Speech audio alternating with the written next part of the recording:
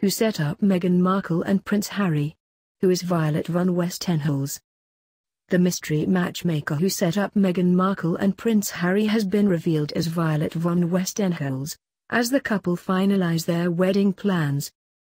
But who is Violet von Westenholz and how does she know Meghan and Harry?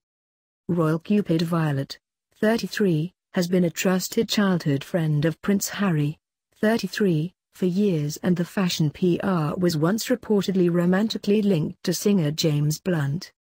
Her father is former Olympic skier Baron Piers von Westenholz, a friend of Harry's father Prince Charles.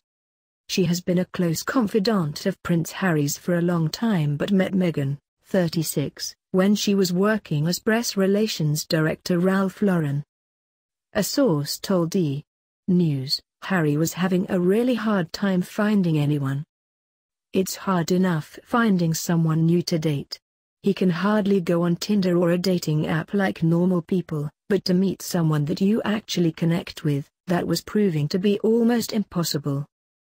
It was something he had confided in his closest friends about, he was ready to meet someone but it was so hard to actually find the right person. Meghan had been a part of the London social scene for a while and had slotted into the high society set really easily. And so when Harry told Violet he was having trouble finding someone, Violet said she might just have the perfect girl for him. Prince Harry and Meghan previously admitted they were set up on a blind date in the early summer of 2016. In their first joint interview, Harry said, We were introduced by a secret friend, who we will protect her privacy. Former Suits actress Meghan Markle added, It was definitely a setup. It was a blind date.